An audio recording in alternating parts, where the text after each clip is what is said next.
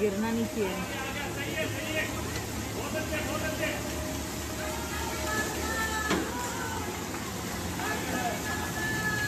बोल रहे थे ना?